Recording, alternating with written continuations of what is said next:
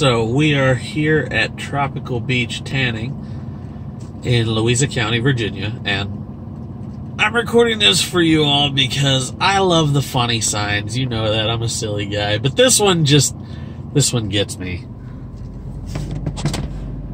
Tan without the sand. Get more D than milk. Can they really put that on a sign and and get away with it? Do people not know what that means? Come on. That's that's just too funny. I thought everyone would get a kick out of this, so this has been Beetle. I'll see y'all later.